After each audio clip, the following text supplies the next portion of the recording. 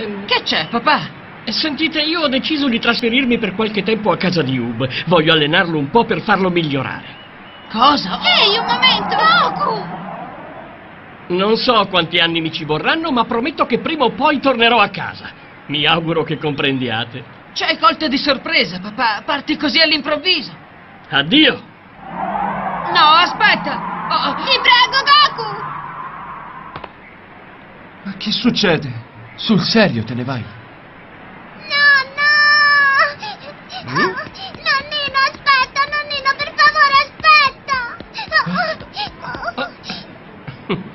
Che cosa c'è, Pan? Ma è vero, è vero che te ne andrai via? Eh sì, No, non voglio, non voglio, come faccio a stare senza il mio nonnino? Non andare, non andare! Ah, su, su, non piangere, tesoro. Non sparirò per sempre nel nulla. Di tanto in tanto verrò a farvi una visitina.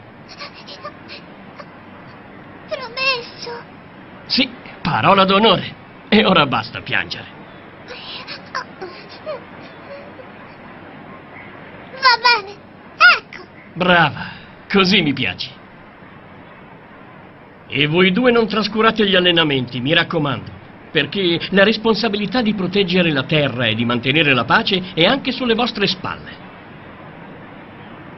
Certo! Lo sai, nonno, anch'io voglio allenarmi tanto tanto, così diventerò grande e forte come te, contento? Bravissima, così si fa.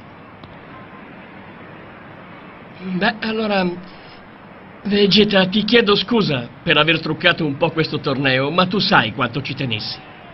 Beh, in ogni caso né tu né io né Ub potremmo scatenare la nostra potenza in una manifestazione come questa, non credi? sì, hai ragione. A presto, amico. È, è stato un fulmine a ciel sereno. Ha parlato di allenamenti. Chissà cosa avrà in mente. Mi ha lasciata di nuovo. Uffa, si può sapere che cosa gli ha preso improvvisamente. Da un po' di tempo a questa parte pensa soltanto a se stesso. Sapete, erano molti anni che non vedevo Goku così contento.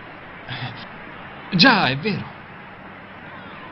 Ehi, tu lo sai dove stanno andando? No, non ne ho proprio idea. sì, devo riconoscerlo, Carrot. Sei uno che ha fegato. Sai cosa penso? Che non vuoi allenare quel marmocchio solo per prepararlo a difendere la terra, ma anche per poterti migliorare a tua volta.